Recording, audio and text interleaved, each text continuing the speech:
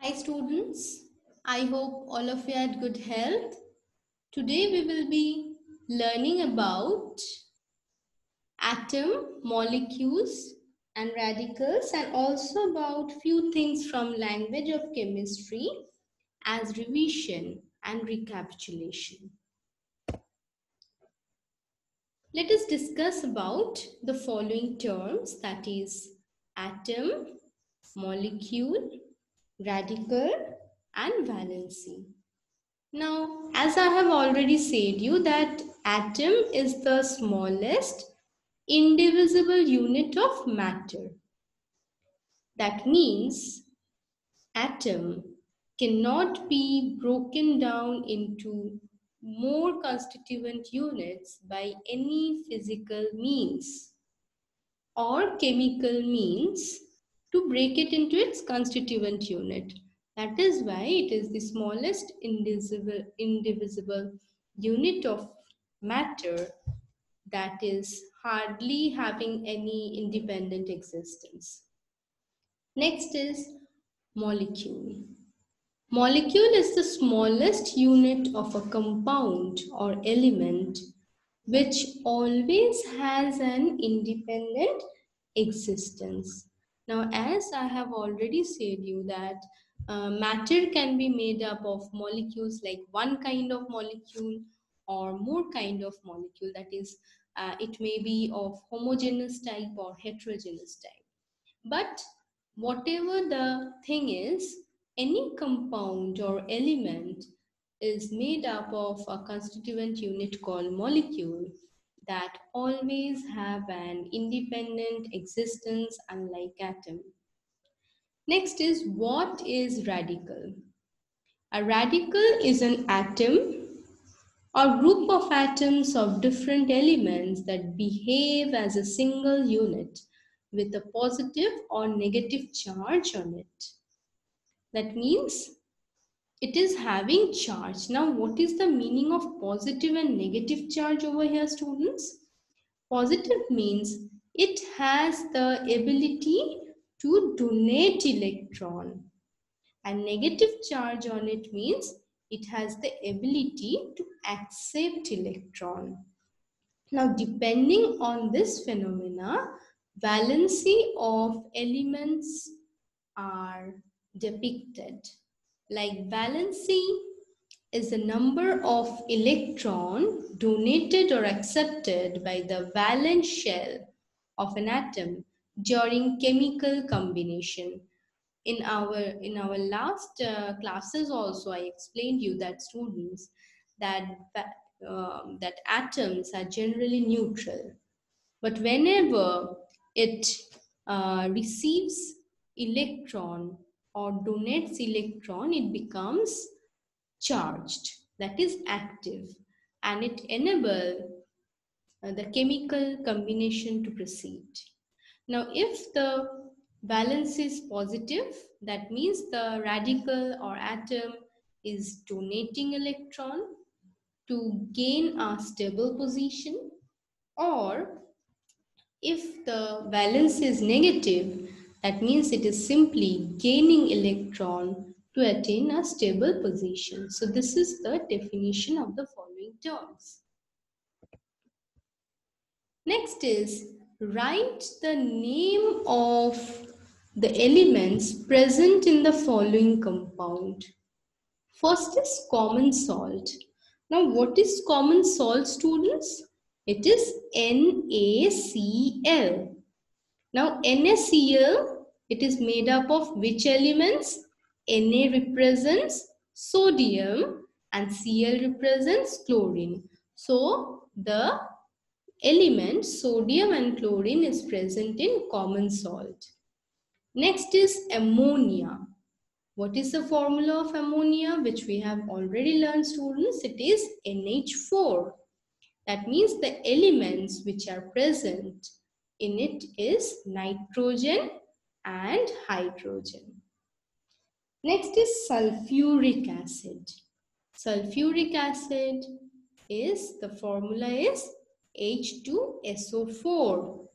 That means the elements which make up or compose sulfuric acid is hydrogen, sulfur, and oxygen.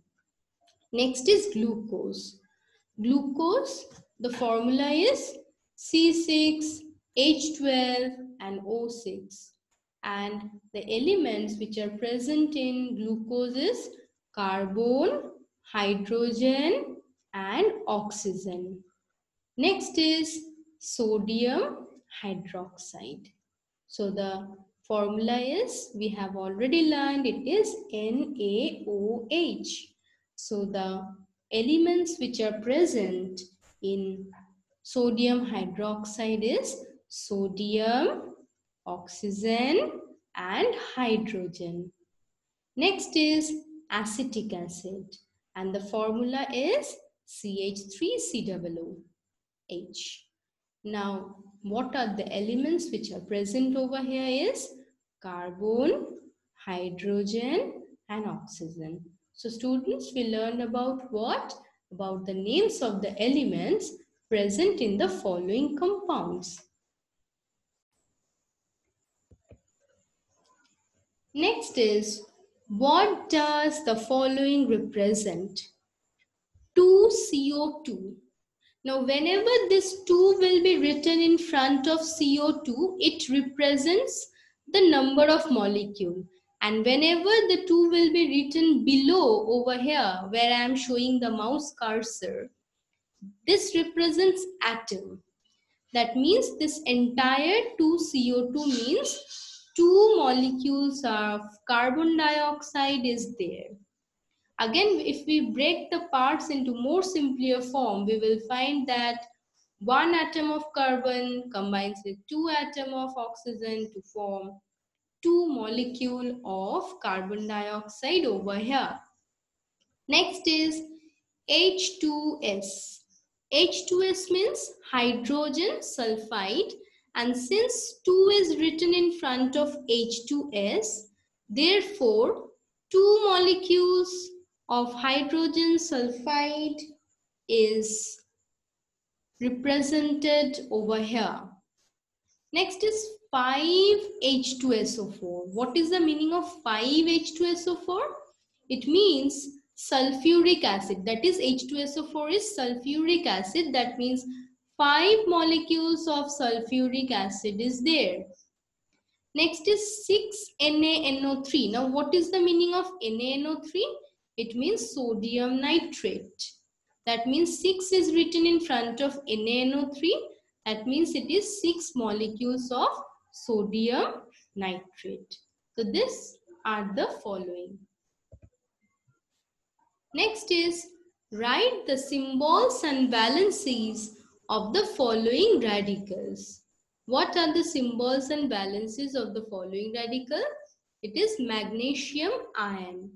Magnesium ion, since the symbol is Mg, so I have written over here, but it's a radical. Radical means either it has donated or accepted some electron.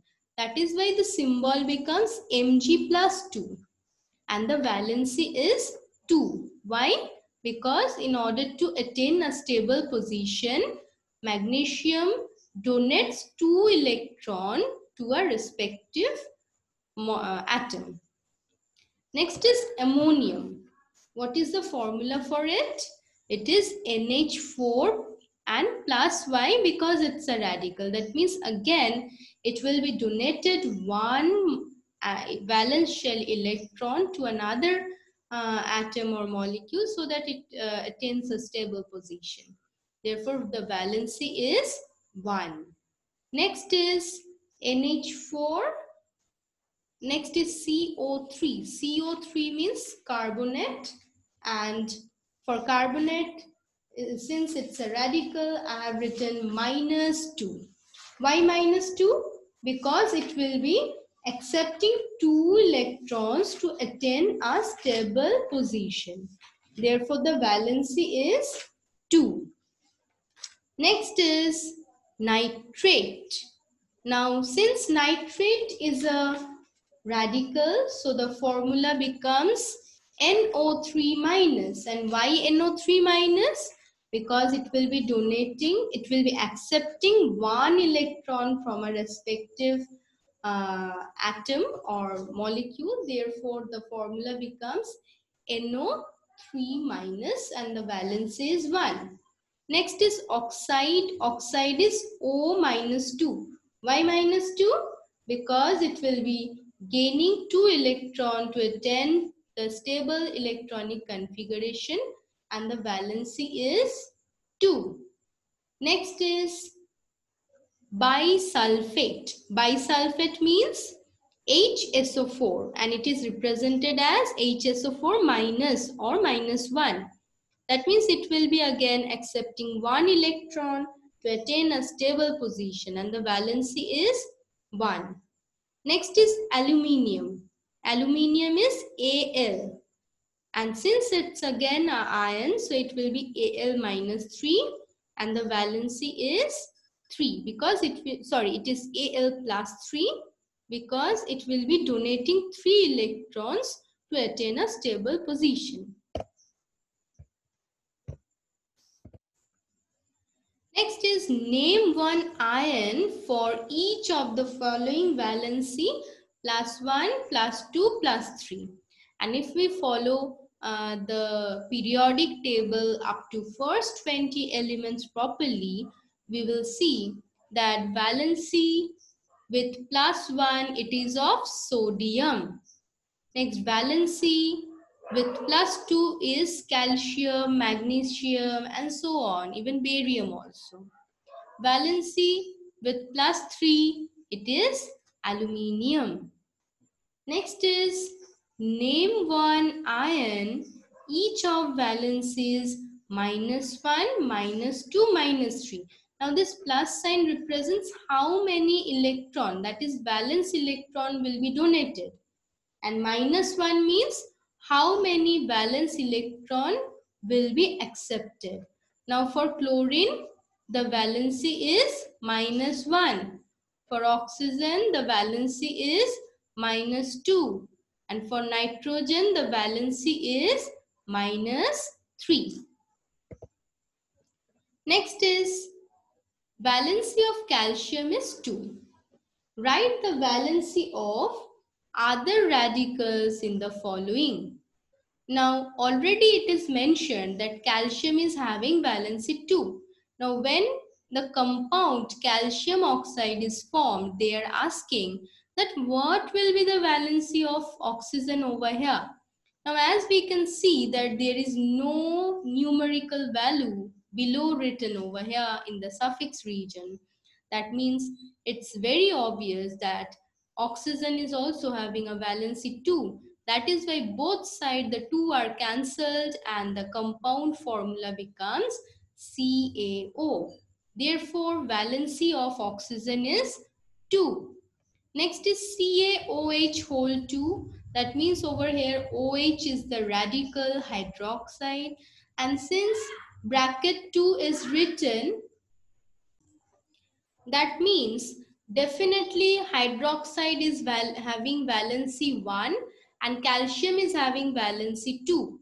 Therefore, while forming the formula of the compound calcium hydroxide, 2 is written in this suffix region.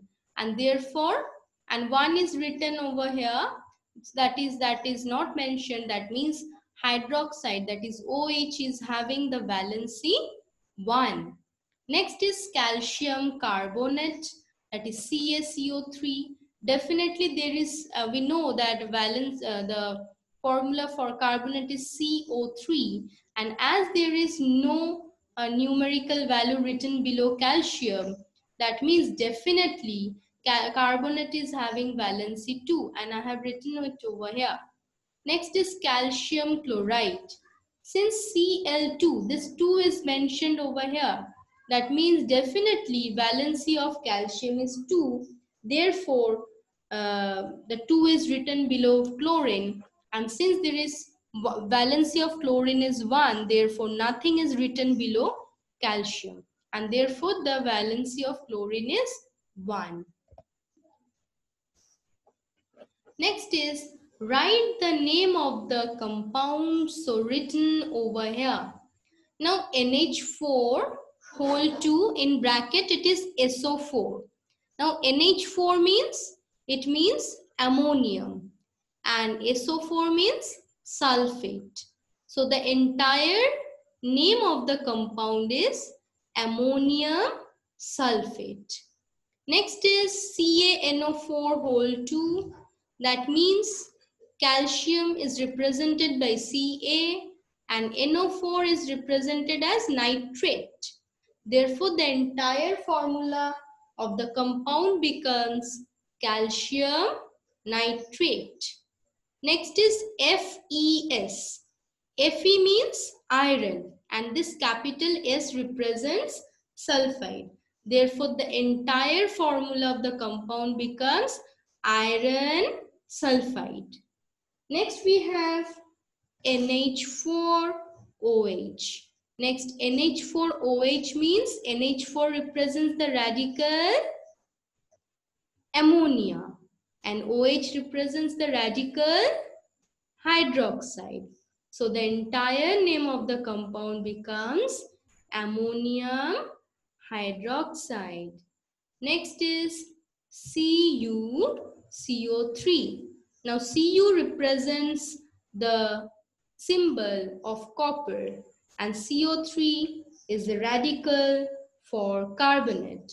So the entire formula of the compound becomes copper carbonate. Next is AgO. Next, Ag represents the symbol for mercury and O represents the symbol for oxygen. Therefore, the entire name of the compound becomes mercuric oxide. Why oxide? Because oxygen is already involved in combination with mercury and as a result, it has already formed the radical oxide. That means after donate, after accepting the electron. Next is ZnCl2. Zn represents the symbol for zinc and Cl represents the symbol for chlorine. So the entire formula becomes zinc chloride. Next, ZnS. Zn again represents the symbol for zinc and S represents the symbol for sulfide. Therefore, the entire formula of the compound becomes zinc sulfide. Next is H2S. H2S means H represents the symbol for hydrogen and S represents the symbol for sulfide. Therefore, the entire name of the compound becomes hydrogen sulfide. Next, let us learn about the molecular formula. Means in the previous slide, we have learned about the writing of the name of a compound when the formula was given. Now over here, compound name is given, we will be writing the formula. Next is sodium sulfide. Now what is the symbol for sodium? It is Na and sulfide is S. And as sulfide is having the valency 2, so the formula becomes Na2S. Next is magnesium oxide. And the symbol for magnesium is Mg and oxide is O. Therefore, the entire formula becomes MgO. Why? Because on both the side, the valency is 2, which gets cancelled out. Next is calcium hydroxide. Now the symbol for calcium becomes Ca and hydroxide is OH. And since the valency of calcium is 2, so we are putting a bracket. Within bracket, we are writing OH and just outside bracket, we are putting 2 in the suffix region. This way the formula is written. Next one is hydrogen chloride. The symbol for hydrogen is H and chloride is Cl. Now since both are having valency 1, therefore the entire formula becomes HCl. Next is sulfuric acid. Now, sulfuric acid, it is simply made up of H2SO4. Okay, that is two atom of hydrogen, one atom of sulfur and four atom of oxygen. Next is iron 2 sulfide. Now iron 2 means sulfide is having valency 2 and since in bracket it is written 2 that means iron is having valency 2. Therefore the entire formula becomes FES. In the next one it is iron 3 sulfate. Now iron is having valency 3 and sulfate is having valency 2. And for symbol for iron is Fe and the formula for radical sulfate is SO4. So we will simply write Fe2. This 2 is over here due to the valency of sulfate and sulfate is SO4 which will come in bracket and outside bracket we will be writing 3 which is the valency of iron over here. Since in bracket we have already see, we can see that in the question it is written 3. Next is nitric acid. Nitric acid the symbol is, the formula is HNO3. Next is calcium phosphate. Now calcium is Ca and phosphate is PO4. That is the formula. Now since phosphate is having valency 3, so it will come below in the suffix region of calcium. And since calcium is having valency 2, it will come below the suffix region of phosphate and this phosphate will come in bracket. Next is aluminium sulfate. Aluminium, it is Al. The symbol is Al and the valence is 3. And sulfate, this formula is SO4 and valence is 2. Therefore, in the suffix region, we are writing 2 below aluminium and sulfate, that is SO4 comes within bracket and 3 is written outside bracket. Next is magnesium nitride. Now magnesium is Mg and nitride is capital N but the valence is 3 in case of nitride and for magnesium it is 2. Now if we simply cross it then it will be Mg3 and N2. Next is the valency of sodium ion is 1. This is the information which is already given. Now write the molecular formula of the following compound of sodium. Now sodium oxide. Oxide means the valency is 2. Therefore, the symbol becomes Na2O.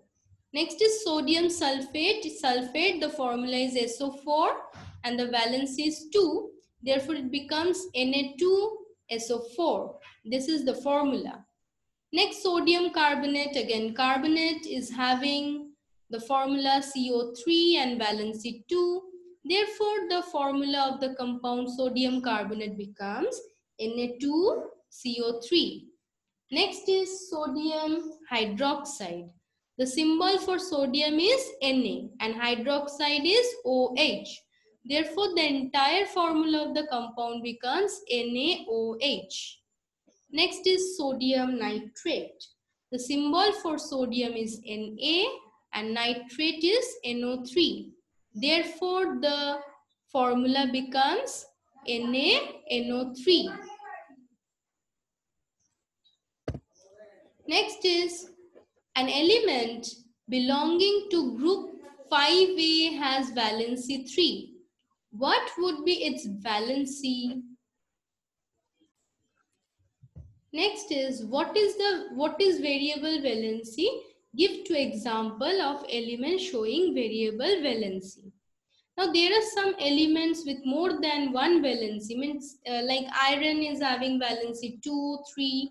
Now this type of exhibiting element valency is known as variable valency and example is iron, copper and so on. Next is give the group number of the following elements present in the periodic table. If you go through the periodic table properly, you will see that magnesium is having the group number 2A. Carbon is having the group number 4A. Sulfur is having the group number 6A. and neon is having the group 0. Next is an element belongs to group 5a. What would be its valency? Name to such elements. Now valency belong uh, group element belonging to group 5a is having valency 3. Why students? Now up to group 8 as I said group 8 are all noble gases. That means 5 if the group is 5 that means the electron in the valence shell is 5 so how many electrons are left to acquire the entire 8 electrons in the valence shell? It is 3 that means it required to accept 3 electrons from any kind of atom or molecules to become stable. Therefore the valency is 3 and the example of two such element is nitrogen and phosphorus. Next is an element belonging to group 2. What would be its valency? Write the formula of the molecules of compound it will form with element in 5A, 6A and 7A groups. Now an element belonging to group 2 generally has valency 2. Why? Group 2 means the valential electron is 2 therefore it is placed in group 2. Now formula with 5A a element from 5A is nitrogen. Therefore, the formula becomes Mg3N2. Why 3? Because nitrogen is having valency 3 and magnesium is having valency 2. So, the formula is Mg3N2. Next, formula with 6A. Now, oxygen is one element that belongs to 6A and having valency 2 like magnesium. So, the formula becomes MgO. Next is formula with 7a. Now 7a elements are having how many electrons in the valence shell? 7. And how many required to complete the octet shell? It is 1. So the valency of chlorine is 1 and calcium is 2. So the formula becomes CaCl2. Next is complete the following. Okay. Atoms are dash. Now atoms are what? Let us check. Now an ion with positive charge is called dash. Next, an ion with negative charge is called dash. Next, 2H2O means dash atoms of hydrogen. Just think students, how many atoms? Just think it.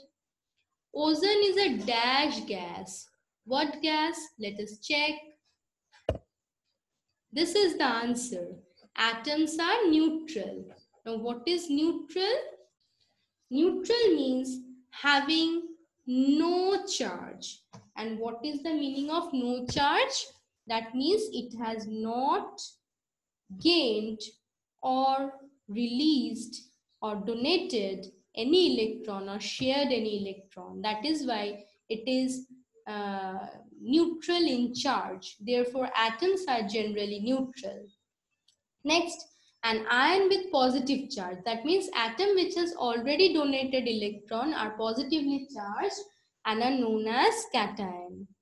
Next, an ion with negative charge. Negative charge means atom which has already gained some electron and has become negatively charged. Okay atom which has already gained some electron and the answer is anion. Anion are ion which is negatively charged because it has already accepted electrons from other atoms for chemical combination.